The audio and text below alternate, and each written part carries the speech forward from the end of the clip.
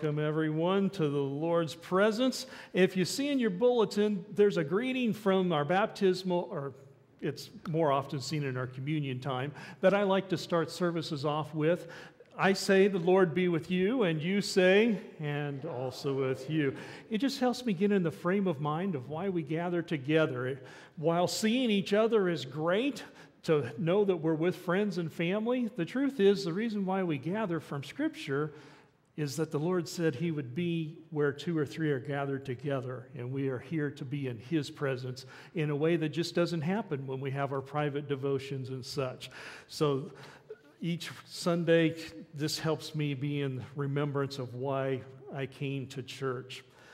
You notice on the back of the bulletin that if you signed up for the congregational care training, that's this weekend. And so you can head down to Goodland and be a part of that. And then in a couple Saturdays, we'll have a men's breakfast, get together, talk, and see where things go from there. And youth group, we won't have this Wednesday. We'll have it next Wednesday when school's getting started. So we'll kind of be on Wednesdays at 6 o'clock is our trial time for this semester. As we gather today, I ask you to join me in the call to worship from Psalm 50. From the rising of the sun to where it sets, God, the Lord God, speaks, calling out to the earth. God calls out to the skies above and to the earth in order to judge his people.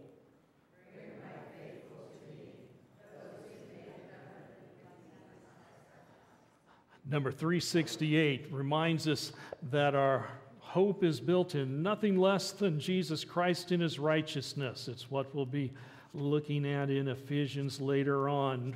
Stand with me and let's sing of the confidence that we have in the Lord Jesus Christ.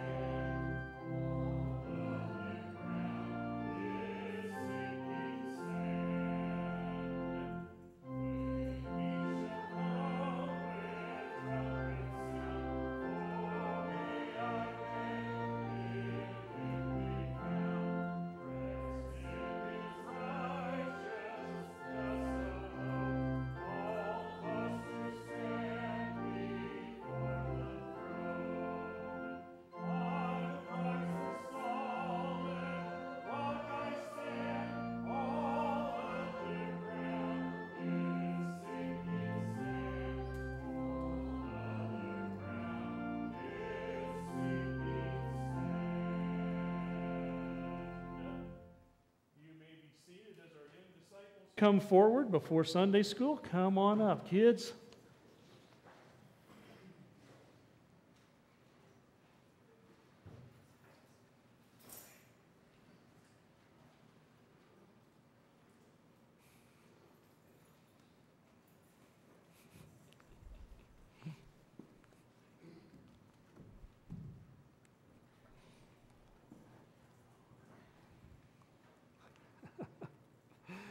Well, welcome. We first looked at G. God created us to be with Him. Now we're at O. Our sins separated us from God. And one of the things about that phrase that strikes me is that it was our sins. And sometimes we like to look at other people's sins and we kind of like to pass over ours. It reminds me of when Jesus was talking to Peter the apostle after his resurrection. He was talking to Peter about how Peter had denied him during the moments up before Jesus was crucified. And Jesus was bringing Peter around to saying, I still want you to be my apostle. I still want you to be with me. I will forgive you. And so Jesus has this conversation where Peter seems to be struggling to accept that God will really forgive him and wondering if he's ever going to be able to get it right. If he comes around next time, will he flop again? And Jesus, in helping Peter realize that the past is the past and they're going to go forward in their relationship, lets Peter know that next time you face a trial like this, you're going to be so faithful to me that they're going to crucify you. And Peter, he takes that in for a moment, and then he turns and says, Well, what about John standing back here? What, what's going to be his future? And Jesus says, You worry about you, Peter, and I'll worry about John. And that's a great thing to remember when we talk about our sins separate us from God, is that each of us has personal responsibility. And Jesus isn't going to come and say, Now, you know, he over there, oh boy, did you hear what he. No, Jesus is just going to come to you and he's going to talk to you about your life and how he can forgive you and how he can make your life better.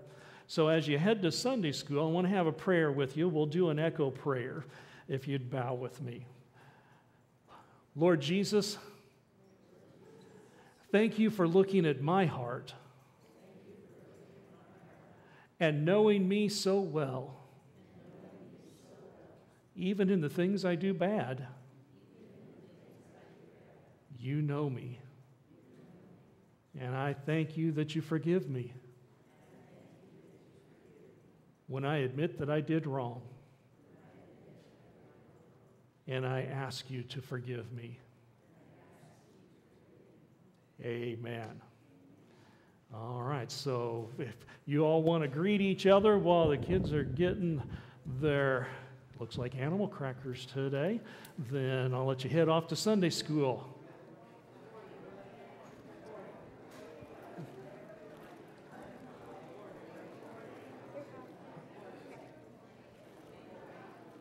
Thank you. Got it? All right.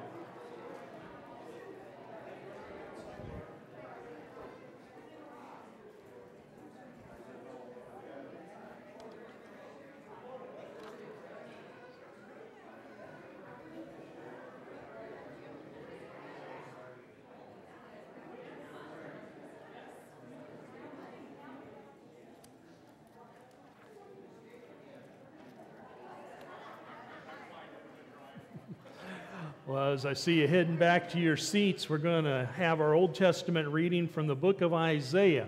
We've been reading from Hosea for a couple of weeks, and we're still in the same ballpark time wise, where it's towards the end of Israel's time, where God has for many, many years, decades, sent prophet after prophet to instruct the people on how he wants them to live, and that just has not been what the people have done. And so the prophets start coming now and saying, if you insist, then instead of the blessings that were promised to you, now will be the consequences that were promised to you for the way that you are living. So, here in chapter 1 of Isaiah, as he begins his ministry, God says this Hear the word of the Lord, you rulers of Sodom, give ear to the teaching of our God, you people of Gomorrah. What to me is the multitude of your sacrifices, says the Lord? I've had enough of burnt offerings of rams and the fat of well fed beasts. I don't delight in the blood of bulls or of lambs or of goats. When you come to appear before me, who is required of you this trampling of my courts? Bring no more vain offerings. Incense is an abomination to me. New moon and Sabbath and the calling of convocations, I can't endure iniquity in solemn assembly. Your new moons and your appointed feasts, my soul hates.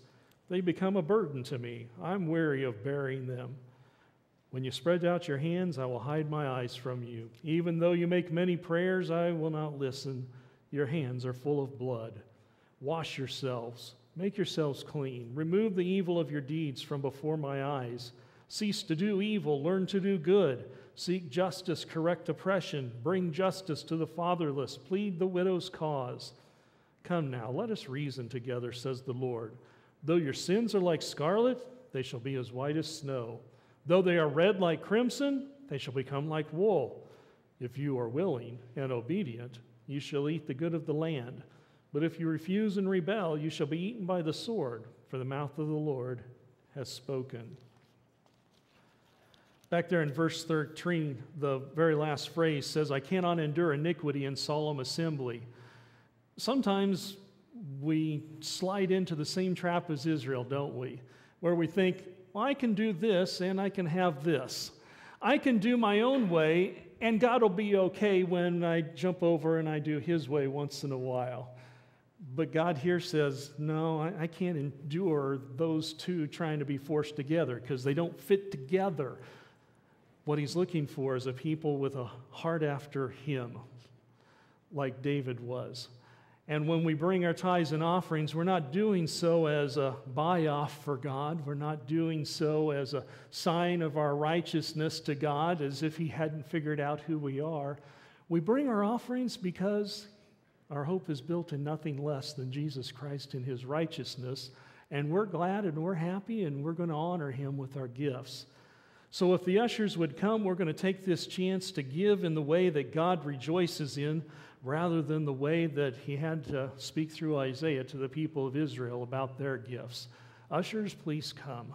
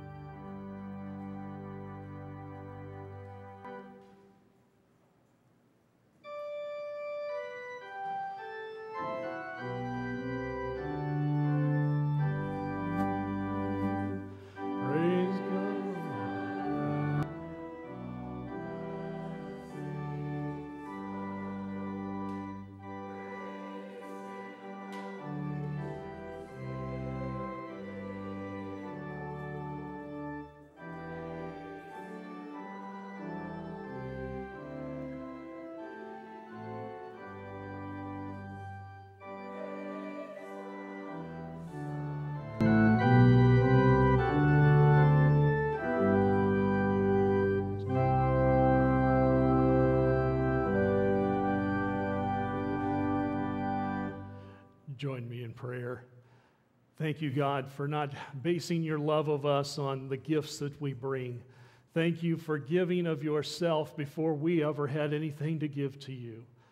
So receive our offerings today as an honor for your glory. Amen. You may be seated. Well, actually, I keep saying that, but we're going to sing, aren't we? Sweet Hour of Prayer, 496. You can stay standing.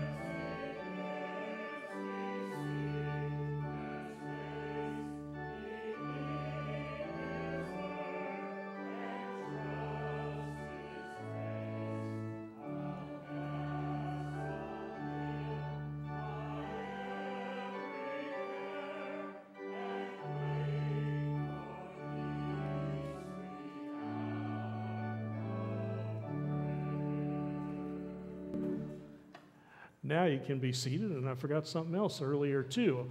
Uh, you got these clipboards that I put some sheets.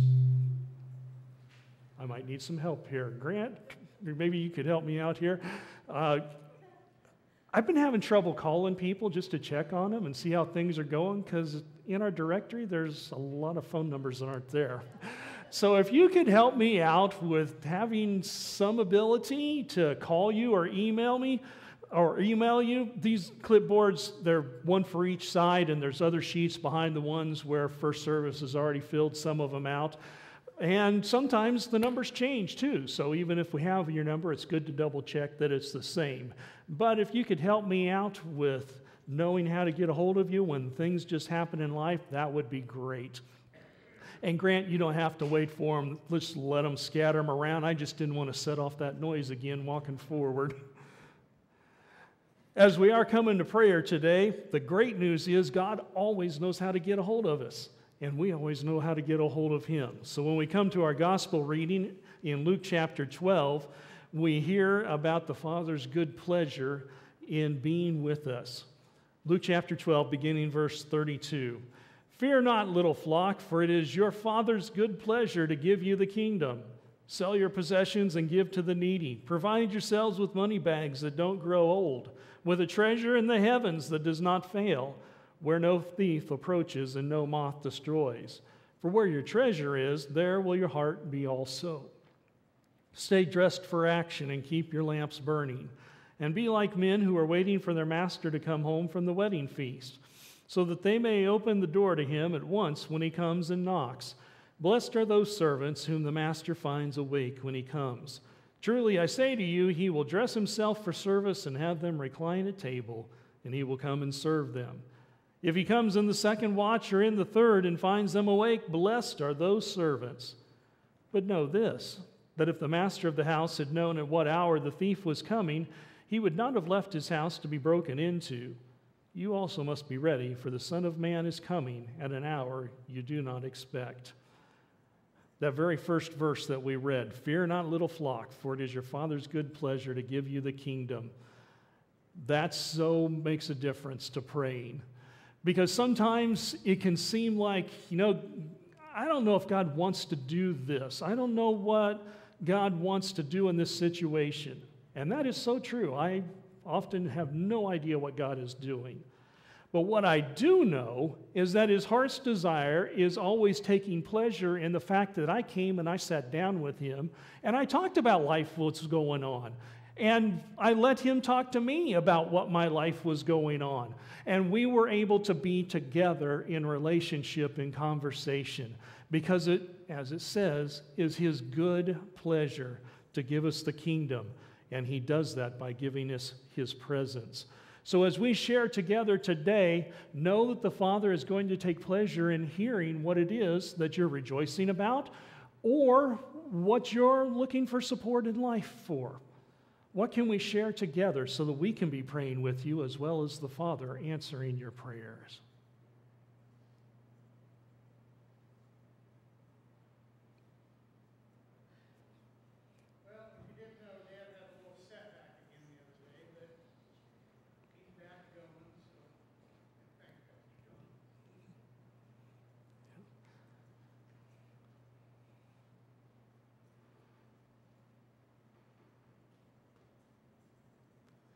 Prayers for us as we have Sabrina going to college this week.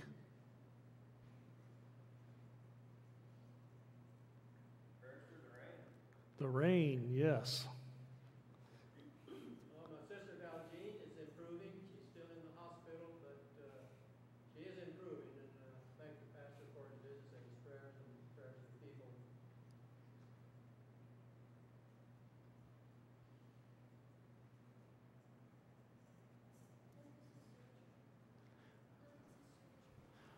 Our youngest grandson is having surgery first week of September. Prayers for Lucas.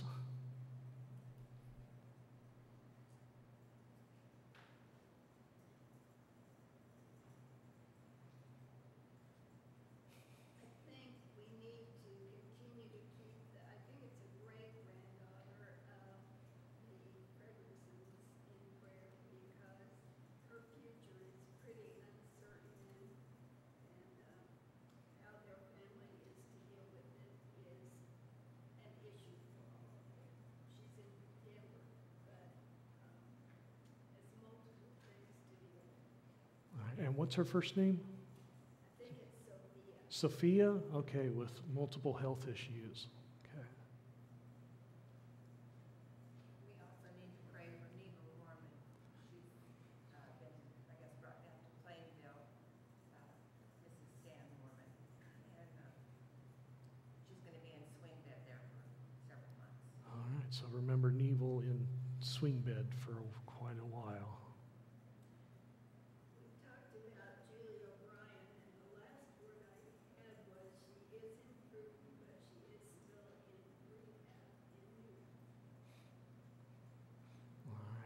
Prayers for Julie in rehab.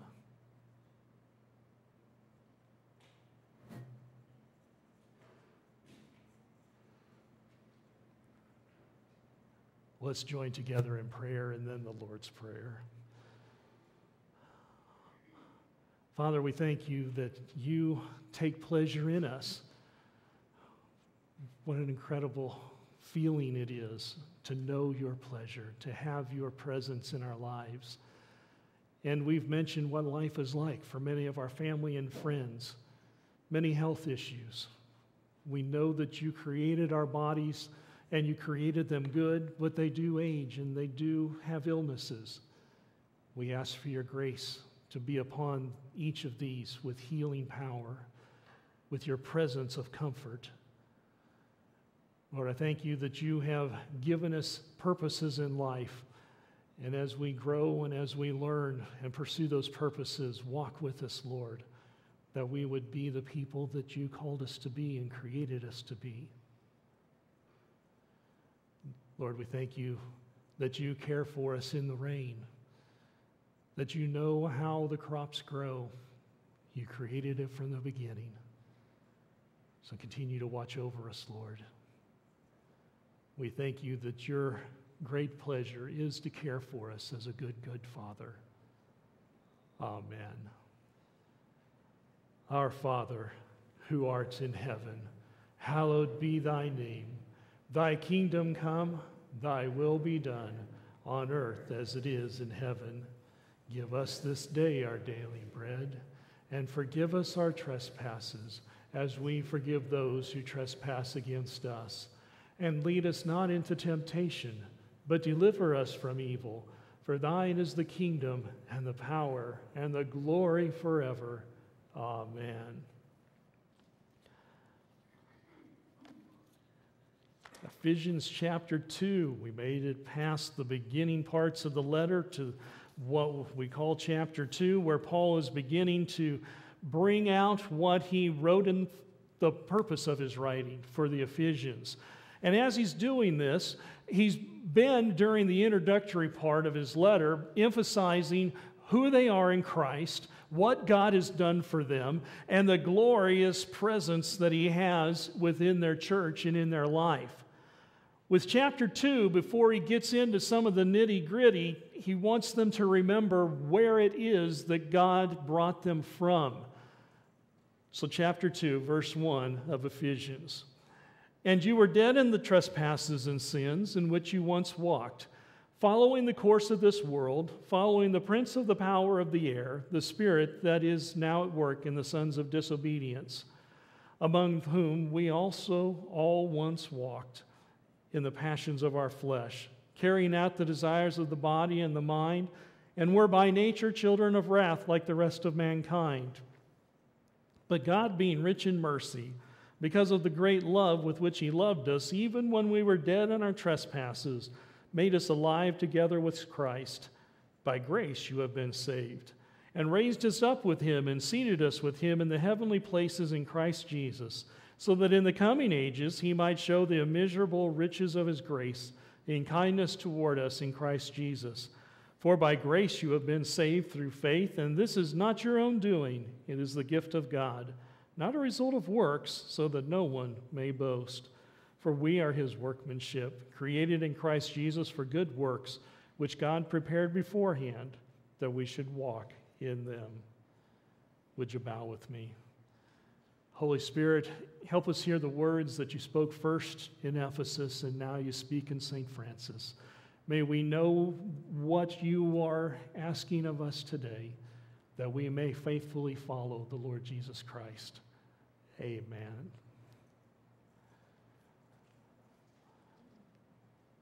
I like to watch old movies. There's a Gregory Peck movie that we watched recently called The Million Pound Note. It's about Gregory Peck being a down and out American who ends up in London. And as he's wandering the streets looking for any scraps of bread, even from the sidewalk, these two aristocrats up in their house notice him and they call him in and they say, do you have any money? No. You have any prospects for employment? No. Great, you're the one we've been looking for. And they hand him what essentially today would be a million dollar check. Not a stack of bills, one check. And they say to him, if you bring this back in a month, we'll take care of you for the rest of your life. We will employ you, take care of you, all that it is, if you bring this back. Now, at the end of the movie, you find out these two brothers have made a bet. They have bet that simply by holding this million pound note in London society, that everybody will treat him as a millionaire, even though he's dirt poor, not even from London. One brother has bet the note will make all the difference, that the nature of society is if you look like a millionaire, they'll treat you like a millionaire. And of course, the other brother says, no, we're not that fickle. You'll have to watch the movie to know which brother won. But what they are betting on is the nature of people. And if you're a fill in the blank person, that's what your first blank is. By nature is what Paul emphasizes that when we live by nature, there are just tendencies, there are things that we do by default. And the default that Paul says for every one of us, me, you, all of us, the default was we followed evil. Now you say, but I'm a nice person. That that doesn't matter. Your default still was to not follow Christ. Your default was to be lost in wandering through life according to whatever you thought would be best. And the answers that you came up with, maybe they were nice answers, but they weren't right answers because the right answer is following Jesus Christ.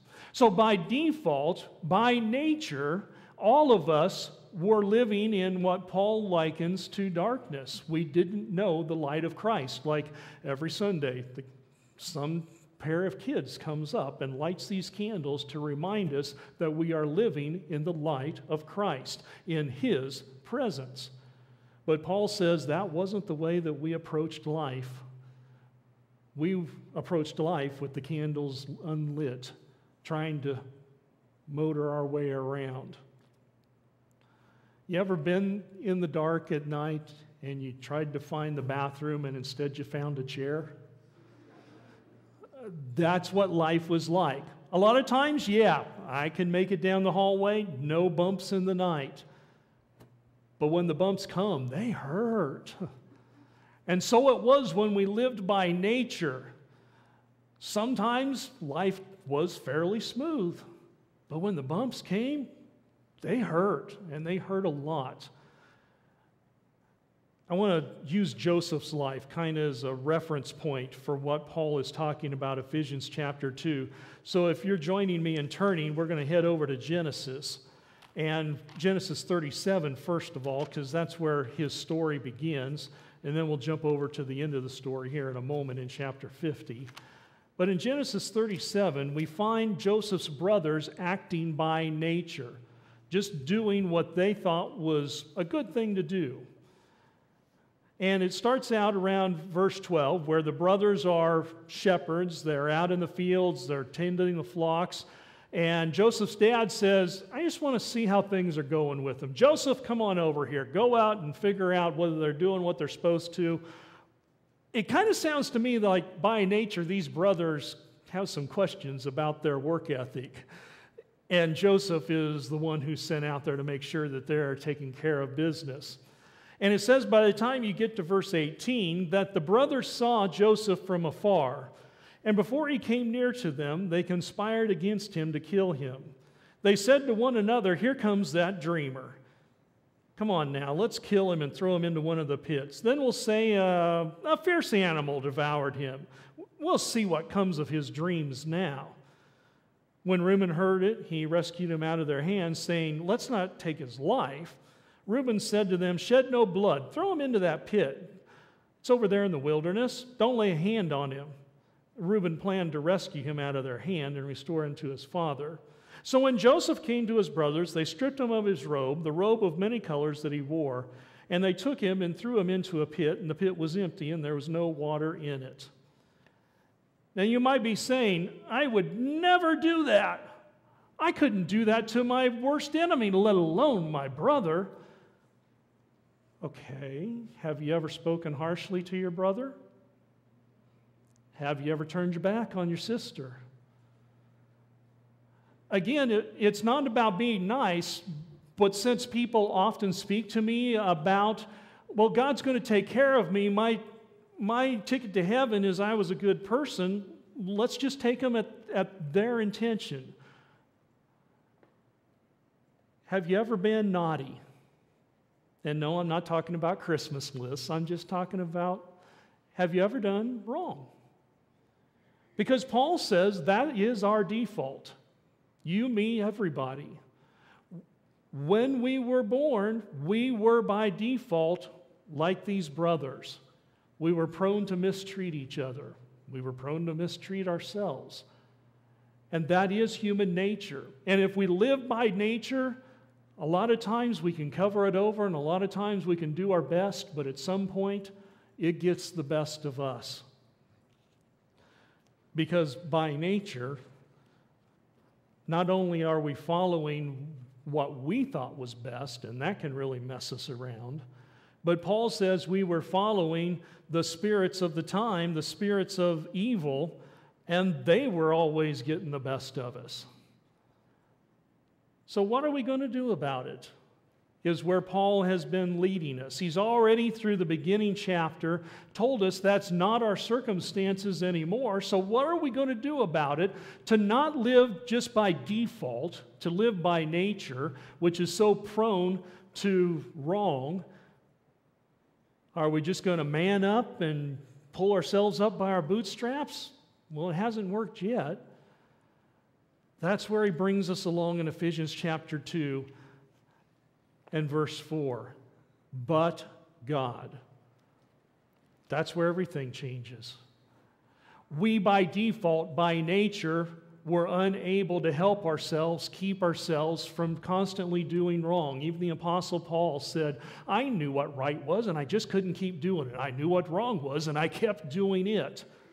Who can deliver me? He says in Romans but God, just like he says to the Ephesians. That's really how it played out in Joseph's life, too.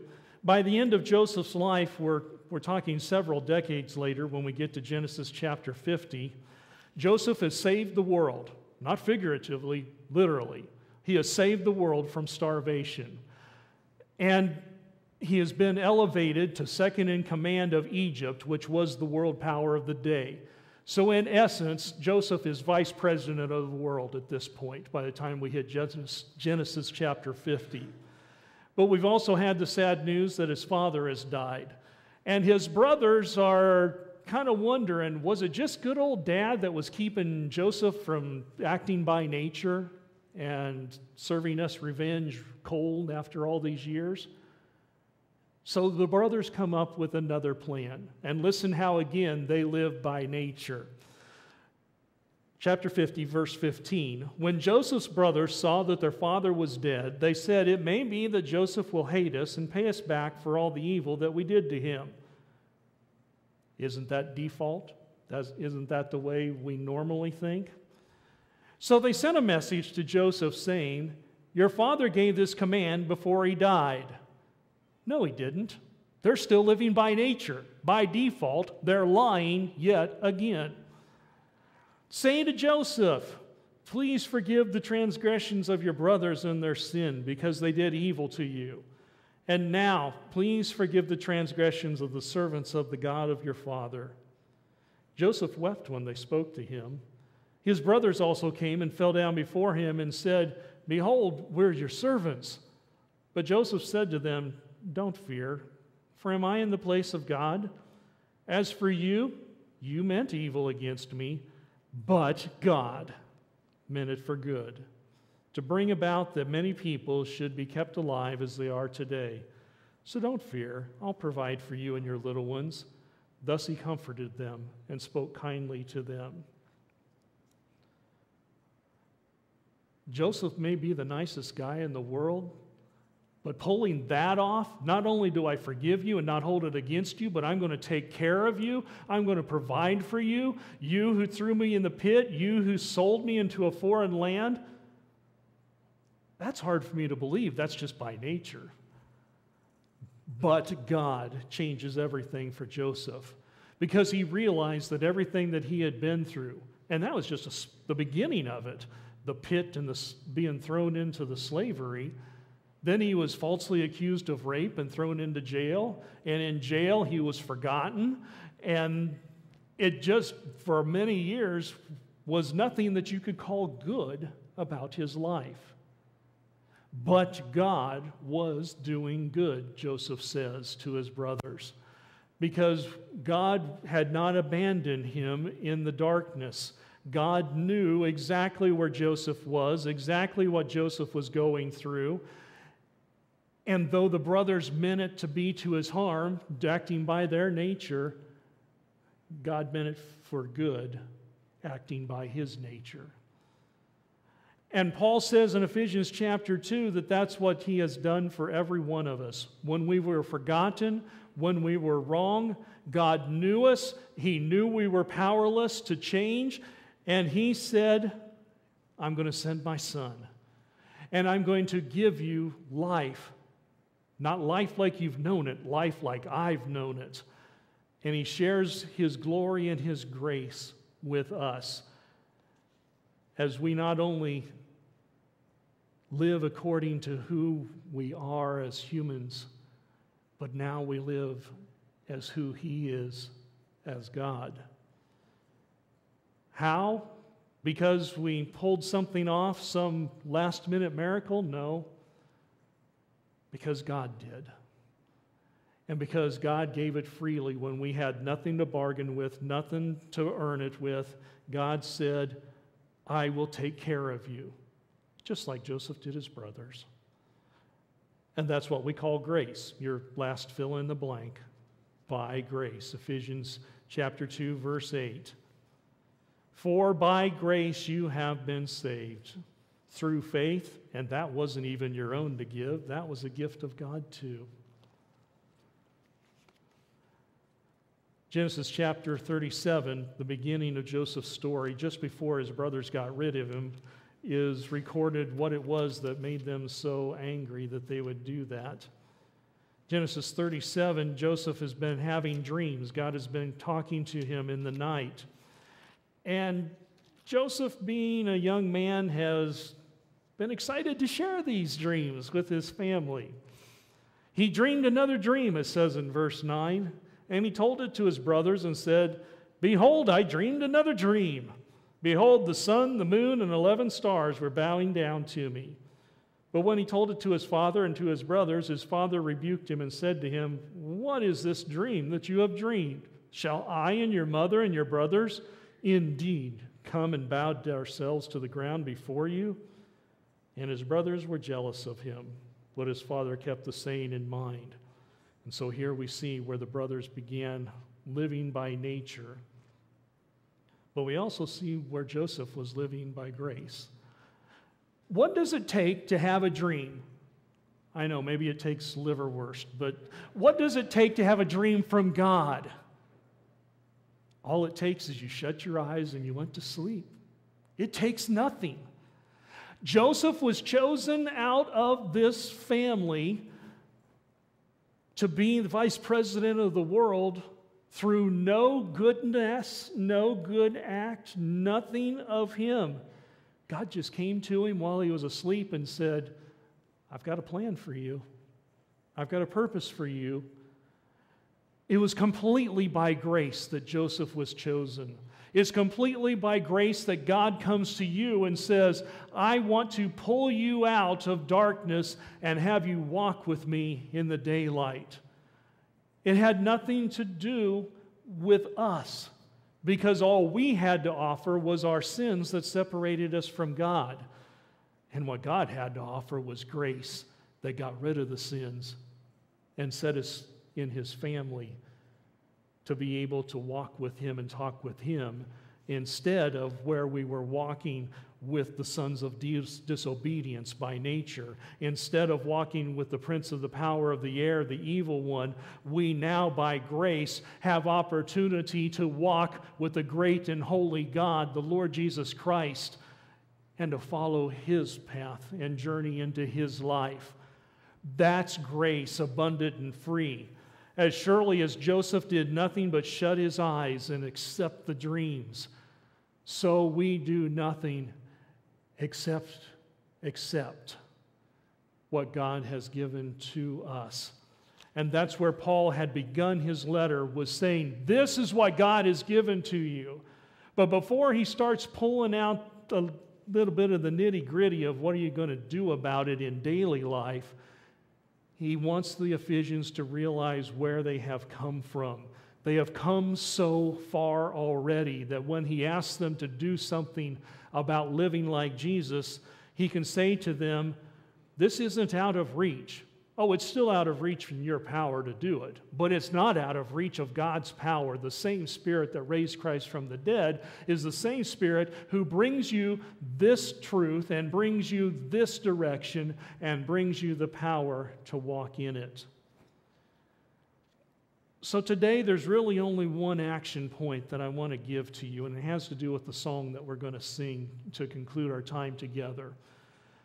Paul eventually gets into some stuff that gets really nitty gritty about how you do marriage, how you do parenting, how you do work relationships, how you do just daily life. But before he ever gets into that, he wants to set a firm foundation that we know where we are. Because if you don't know where you are, it's really hard to get where you're going. And so Paul says, This is where you are. You are living in grace, you are saved by grace. And so later, when he talks about how to live it out, it won't be any stretch to say, I can't do this, but God can. So if you take your hymnal with me, you'll see that we're going to sing all the verses that are in the hymnal.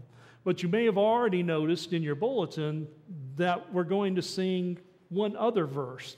When the song was originally written, it had six verses. Our hymnal has five. And I want us to have the full story in front of us. It's number 288. And if you see in the bulletin, the words that we're going to be singing for verse 6 are patterned like all the other ones where it's repeating, Were you there? Except for the first five verses are asking the question, Were you there as the crucifixion was taking place? Were you there when Christ was purchasing our salvation through his shed blood? But verse 6 takes it where Paul has been taking the Ephesians the whole long. But God, were you there when he raised him from the dead? But God changed the whole thing from death to life. But God does the same in your life. If you are a Christian, He has changed you from darkness to light, from death to life. If you're not, we need to talk about it afterwards because God has greatness that He wants to share with your life by grace. But I invite you to stand, and the one action that I ask you to do this week is this song. Consider where you have been brought from by the grace of Christ. And if it causes you to tremble, that's great. If it causes you to break out in tears, that's great. If it causes you just to sit in stunned silence, that's great. But Paul didn't take the Ephesians any farther until he had them where this song has us. Would you stand with me and sing, Were You There, including the last verse, when God raised him from the dead?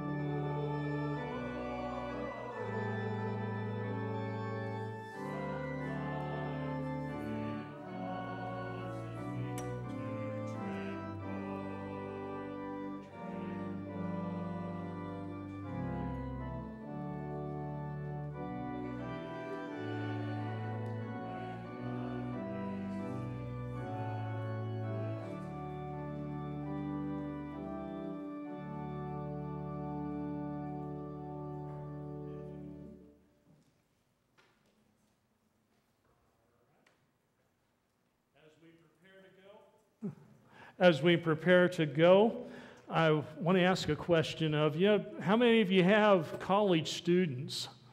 Whether it be grandkids or not, you got college students because they start up all around this time. How about you got somebody that's on campus in leadership, professor, administrator, something like that? No? All right. Well, I see several that have students. So our blessing today will be over them as colleges, some have already started, some are starting this week, and everything's getting up. Next week, we'll have a blessing over our local schools. But would you bow with me at this time for our colleges? Lord, I thank you that you have called us to grow in you and that our, our human life is not intended to stay the same. It's intended to continue growing. And as these college students enter onto the campus, I ask that you will go with them in the same presence that you were with Joseph. That when days are up or days are down, you are still present and you are still constant in your grace. And for those who are providing the learning and the leadership on those campuses, I ask that you will rest upon them, that they will know the truth and that they will pass on the truth, that they will lead well. Thank you, Lord, for giving us of yourself in all of life. Amen. Yep. You didn't raise your hand. No, actually, I didn't. I usually don't remember.